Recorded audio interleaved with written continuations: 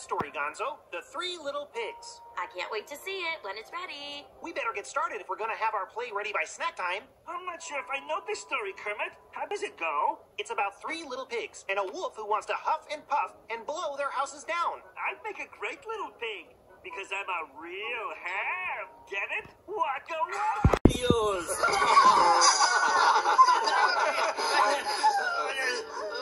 Rock.